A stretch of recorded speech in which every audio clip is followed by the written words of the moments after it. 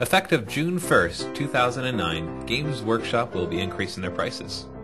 Many of you aren't happy about this. And the question is, who would be?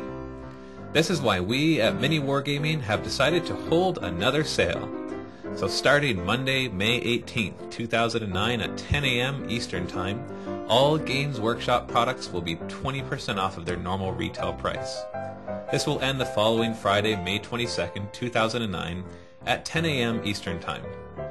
For more information, visit miniwargaming.com slash sale. If you're watching this on YouTube, you can click on the link in the video description.